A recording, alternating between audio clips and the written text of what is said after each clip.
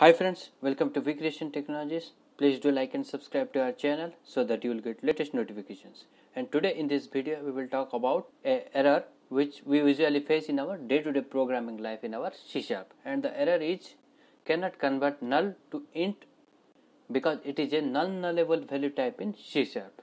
And also I will demonstrate with a simple example that how to replicate or reproduce this error and also how to resolve or avoid such type of errors in our day-to-day -day programming life. So let's get started.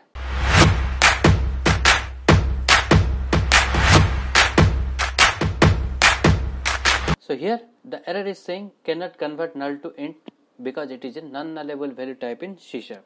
And the error is very simple that we cannot assign a null value to our int value type.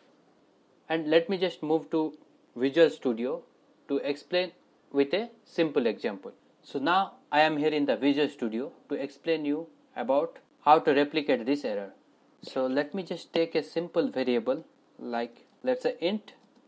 I will take my variable name as x but you can take anything and let me just assign any type of value in it. Let's say I just assign 5. Now there is no such type of errors or nothing is there. But let's say I will just assign some different type of value. Let's say I will just assign a zero value like that. Now also there is no error. Let's say I will just assign some negative value like minus 10 now also there is no error. But let me just assign some different type of value like a null. Now whenever just I assigned a null value into this x type of variable then it showed me some of the error like the error is saying cannot convert null to int because it is a non-nullable value type. Because here you can see this x is a int type of variable. Here we are using the int 32. So by default it will just take int 32 if we will not not use int 32 also. If otherwise if I can use int 32 also there is no problem with that. But the error is saying that we cannot assign null to our int value so this is how we reproduce the error. But now let's say how to avoid such type of errors.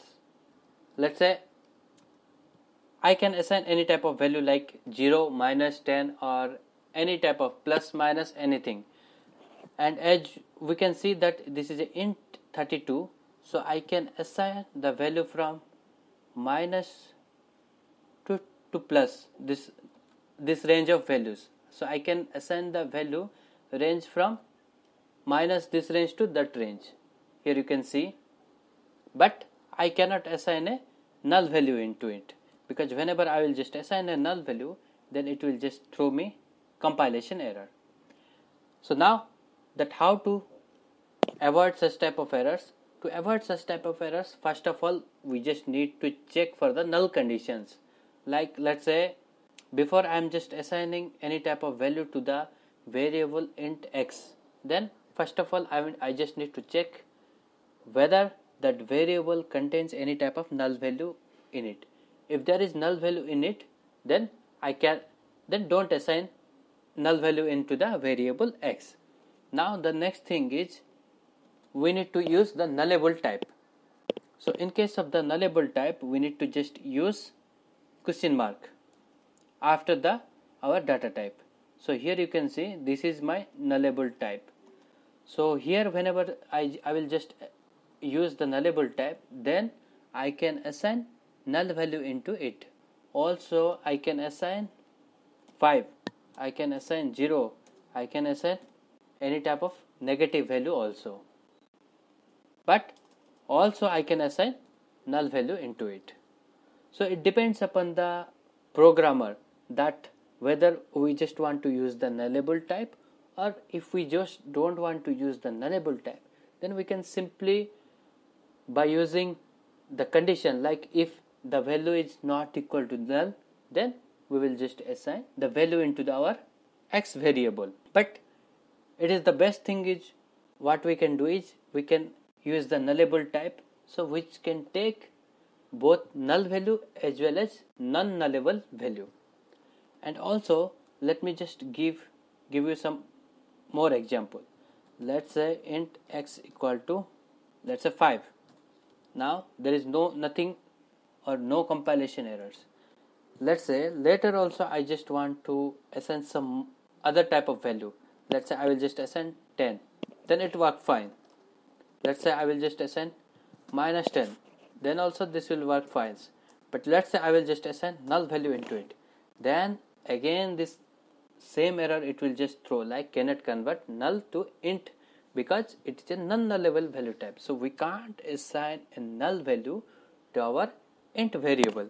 But we can assign a zero value we can assign a positive value and also we can assign a negative value. But the value should be range from this minus to our this plus. Means the value should range between this but let's say here I will just use my nullable type. Then it will just erase the compilation error. So so here what I am doing is first I am just assigning a 5 value. And after that I am just changing my value from 5 to null. The null as I here I use the nullable type. So it will not show any type of compilation errors but let's say I will just remove this question mark or we can say the nullable type then it will automatically throw the compilation errors. So this is the scenario which I am just showing you for an example. But whenever the programmers or the developers usually use such type of things in our day-to-day -day programming life then let's say if you are using a int value then always check for the null conditions but let's say if you want to allow the null value as well as non-nullable value then always it is better to use the nullable type. So in case of the nullable type it will take both positive zero null value everything. So just we need to make sure that whenever we are just doing any kind of programming things that we need to just take care of the, these things and we need to just remember that uh, there may be a scenario where we can use the null value. Then in that scenario we should use the nullable type. Otherwise we can use like this also. If in the if condition I can simply check for the if the value is not equal to null then I will just assign the value into my variable. So this is the things which we need to take care uh, during our programming day-to-day -day life otherwise it will simply throw the error like cannot convert null to int because it is a non-nullable value type. And here whatever I have just shown for the example that is just for the basic examples but whenever you are just using in your programming life you need to just make sure that these things works. So this is all about my today's video. Stay tuned for my next video. Till then bye bye. Thank you